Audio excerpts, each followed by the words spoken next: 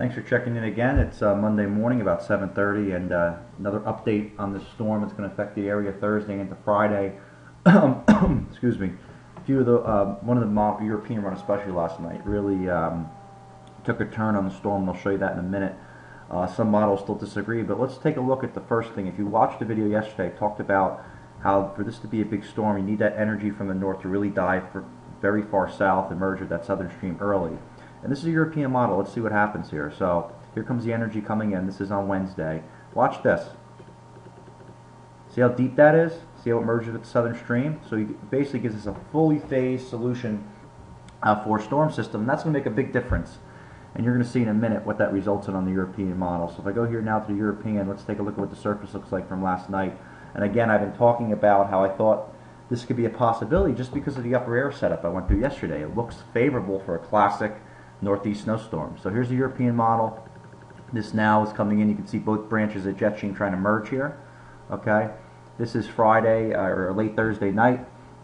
Okay, this is now 1 o'clock in the morning on Friday. 990 millibar low. Things are starting to really converge here over the East Coast. Here's a 32 degree line right here, so snow is breaking out all in these areas.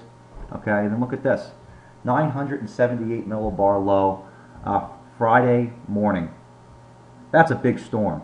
And this is just one model. It's the most accurate model. It's European. And the other models I'll, I'll acknowledge are not showing as progressive of a solution. But this is exactly what I was concerned about uh, from a week ago, that something like this could happen. And then you just take it out one more clip uh, to Friday at 1 o'clock in the afternoon, and you have a 967 millibar low. I can't emphasize enough how strong of a storm that would be if this model's depiction is accurate. Um, right now, I can't just go all in and say, yes, it's going to be a 967 millibar storm. It's going to be an all-out 962 actually at this point. It's going to blanket the northeast of two feet of snow. But I can say a significant storm is going to come. And I'm going to show a map in a minute to give what my ideas are. But just want to emphasize that the atmosphere is very capable of this for, for Thursday into Friday. Uh, the GFS has a very weak, a weak low, much weaker, like a thousand millibars sitting out over here. The Canadians over here. A lot of the models are not on board with the European, but historically, as you all know, the European's been the most accurate. And I can't just say this is a fantasy because it, the, the, pattern is there. Like I said, all it takes is that Arctic air I showed you to dive down far enough to merge with that stream and not stay too shallow. And all year I've been trying to emphasize also that Arctic air has, has not been modeled correctly diving further south, which is why I think that uh, somebody here is going to really get a significant snowfall from north of uh, 78 all the way up into Maine, Vermont. A high ratio snows up in Vermont too, so that's another factor to consider. So, uh, you know, look out. We have quite a situation unfolding. Here's my first guess at what I think is going to happen. Um, again, this will be updated probably uh, Tuesday night, tomorrow night. I'll probably make a final forecast on what I think is going to happen. But from first glance, I want to put something out because uh, the media is going to really start to pick up on this today. So here are my initial thoughts on what I think is going to happen. Okay, up to six inches possible, because I actually think that rain will mix in down here if this is a more progressive storm. If it's not as progressive like the GFS shows, it'll be more of just a light snow event. But uh, up to six inches possible, up to a foot possible, definitely up to a foot in northern Vermont, over a foot po uh, possible. And then I think the bullseye for this storm is going to really be this axis right here: uh, Massachusetts, southern New England, uh, southern Vermont, southern Maine, uh, parts of New York State and higher elevations. Maybe if we get lucky, you could pull this down a little more. But this is where you could see up to two feet of snow if this storm is as progressive as the European shows. And um, I'm going to lean that way right now.